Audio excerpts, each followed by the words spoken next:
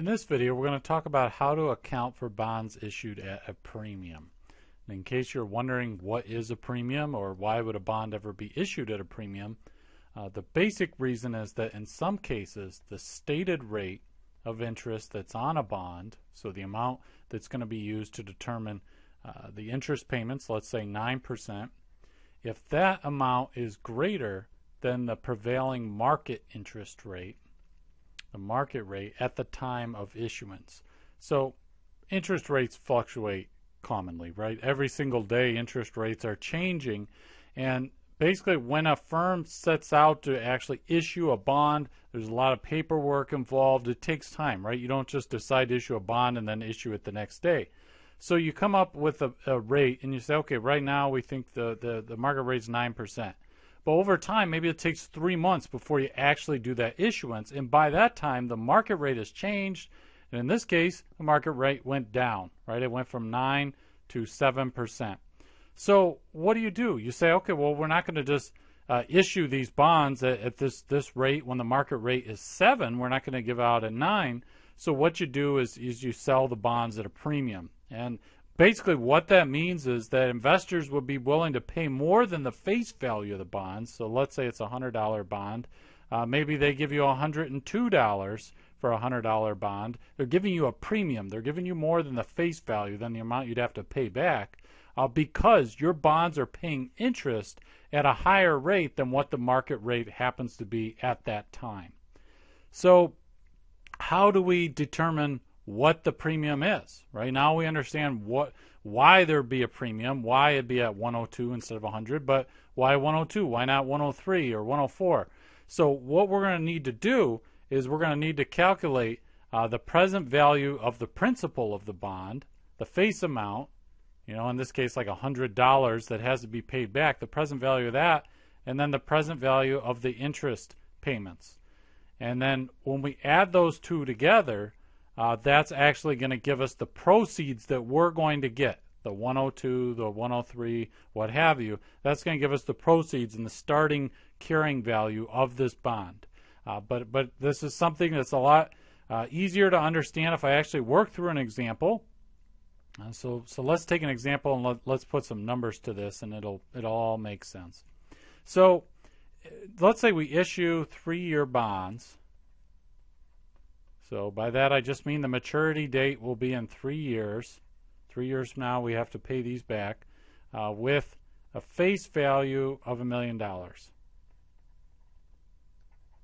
Okay, so that means three years from now we have to pay back. Our firm has to pay back a million dollars. Right? We're we're raising capital now, but we're gonna have to pay back a million dollars on these bonds when they mature. So the stated rate, stated rate of interest now this is the rate that is used to compute our annual interest payment. Okay, that stated rate is going to be 9%. And we're going to say, as I just mentioned, it's going to be an annual interest payment. Could have been semi-annual, but we'll just say annual interest payment. So once a year, we're going to pay interest, and the interest is going to be 9% of our face value here, of our million dollars, right? And so that comes out to, when we just take a million, multiply it by 9%, that's going to give us 90,000. Now, of course, if this was semi-annual, then we divide this by two and it'd be 45,000, and that would change things uh, significantly. So we got to make sure we understand, okay, this is semi-annual or annual. In this case, it's, it's annual. So now we need to know, well, what's the market rate of interest when we go to do the actual issuance? So the market rate is 7%. So let's think about this intuitively for a minute. We're about to issue bonds, right? That are going to pay 9% interest, but the market rate is 7%. So we're paying 2% more interest than someone could go get elsewhere.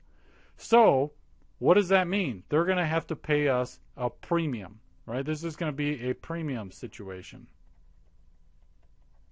Right? People pay us a premium for these bonds.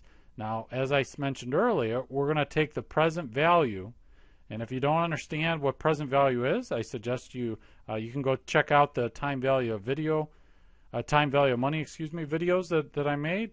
Uh, but right now, I'll just give you the, the formula. I'll just write this out. The present value of the principal, and I'm talking about this $1 million face value. We're taking that. It's a million dollars divided by 1 plus the interest rate, 1 point, and we're talking about the market rate, of course. The stated rate is only used to determine how much interest is paid. But now, when we're looking at present value, we care about the market rate. So that 1 plus the market rate, and then we put it to the number of periods. We got three periods because there's three years, right? Now, if it was semi-annual, then we'd have six periods because it'd be three years, but twice a year. But we're just doing annual, so this is what we've got.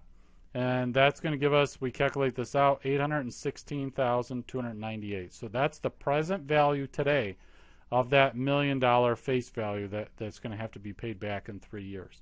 But now we have to say, well, what's the present value of the interest payments? Now this formula is going to be the formula for present value of an ordinary annuity. I'm just going to, again, I'm just going to put it up here and assume that you know this. Uh, we're going to have here 1 point plus a, oh no, 7 to the third with 1 in the numerator. Here, that's a 1. And then in the denominator of all this, we're going to have the uh, market interest rate. Again, we're not using the stated rate here. And then, of course, this is all going to be multiplied by, so we've got to take the, the actual cash interest payment, right? So that's $90,000. We already calculated that. At, basically, we're saying here every year we're making an interest payment of $90,000. Now, what is the present value of those interest payments? Three years we're making payments of $90,000. What's the present value of those interest payments today? And so when we calculate this big ugly equation out, uh, it's going to give us 236,188. Now, when we go and add these together, let's see here, the present value of the principal, present value of the interest payments. So we, we sum these, and that's going to give us the amount of the proceeds that we're getting when we issue these bonds, the amount of cash that we're going to get. And the proceeds are going to be $1,052,486. Now, here's where you see the premium, right? The proceeds, so we're, we're, we're raising money with a bond issuance. We're getting $1,052,486, but we only have to pay back a million three years from now, right? So that's where the premium comes in. We just take this one million fifty-two thousand four eighty-six, uh, deduct the million that we have to pay back, and so we say, okay, well we got a premium of fifty-two thousand four hundred eighty-six dollars on this bond issuance. Now we're going to have to amortize this premium over time th- uh, throughout the life of the bond. And this is actually going to get quite complicated. So it's best that we just put together a schedule and we can work everything out and it'll be a little bit easier uh, to understand. But actually, before I do, let me just put the journal entry here so that you would you just makes things really clear for you of, of what's what's going on here. So we're going to have so this uh, the date of issuance. We're going to debit cash for one million fifty-two thousand four eighty-six. Right, that's the proceeds from our bond issuance. It's easy to figure out what's going on with cash, right? Uh, but then we've got a credit a bond payable of a million. Now you see, hey, the debits and credits don't match up, right? Well, that's where this premium comes in. We have a journal entry for the premium on bond payable. That's 52,486. So that's this is what we would record at issuance, right? We issue the bonds, not when we uh, pay the interest. That's just issuance. Uh, so now we've got to set up the schedule to figure out what our interest payments are going to be. So we set up the schedule, and we're going to have to start this schedule out with the carrying value of the bonds, right? Now I'll explain all these these other things here in a moment, but let's go with the carrying value. Well, we just calculated that. It's the the starting carrying value is the proceeds from the bond issuance. So I'm just going to take that and bring it down. So we'll have 1,052,486 is where we start with, right? That's this carrying value. And on the date of issuance, which we're going to say January 1st here, date of issuance, we're not paying any cash. We're not paying any interest expense. We're not amortizing any premium because we haven't had an interest payment yet. The interest payment won't come to the end of the year. So now we go and say, all right, how do we calculate interest expense? And, and, and so we, how do we calculate interest expense to make our journal entries for January 1st, 2018? So what we do is we take the carrying value of the bonds and we multiply that by the market rate of interest, which if you remember was 7%. So multiply that by 0.07. Okay? Now that's going to give us $73,674. Now how much interest did we actually pay out? Well, if you remember we calculated that already. It was 90,000. 90,000 and that was just the 9% stated interest times the 1 million face value, right? That gave us that's how much cash we're actually paying when it's time to pay interest, but our interest expense is lower. And the reason for that is this this bond premium. So the difference, the 90,000 minus 73,674 is going to give us our premium here. The amount of premium that's been amortized for this year. That's 16,326, right? That's just the difference of these two numbers right here. Now, this premium that's been amortized for this period is now going to affect the carrying value of our bonds because we're going to deduct it from the carrying value. So we take the 1,052,486 and subtract out the premium that we just amortized, and that's going to give us 1,036,160. Okay? Now, how will we make the journal entry for what just happened here? Well, let me just scroll down a, a little bit uh, so you can hopefully still see this, this top row. Uh, so now on January 1st, 2018, our entry would be interest expense. And we just pull it right out of the table, 73,674. Okay. And then we've got cash going out. We've got cash going out of 90,000. Right? Remember, that's just the stated rate and the face value of the bond. That's the actual interest that we're paying out. And then now, of course, these don't these don't balance, right? So what do we do? Well, we've got the amortization of the premium. So we just add that in and we just take it right from the table. See the table makes everything nice and nice and easy. 16326 and now everything balances.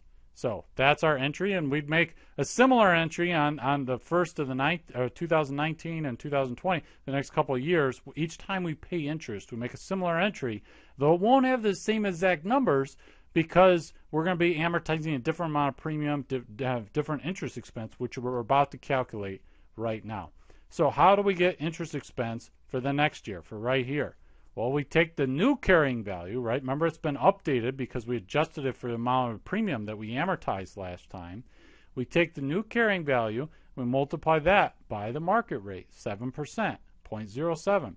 So that's going to give us, let me see here, uh, $72,531. Okay?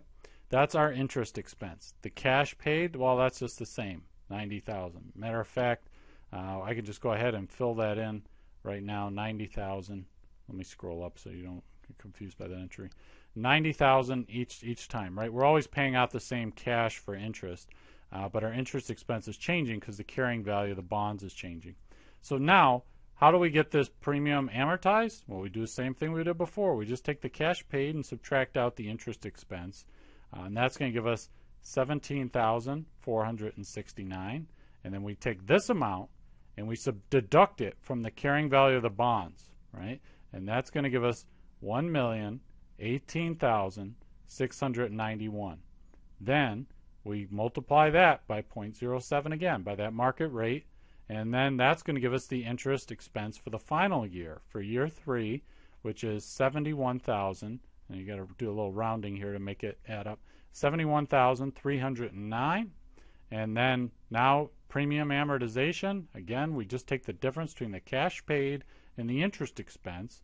And it's going to be 18,691.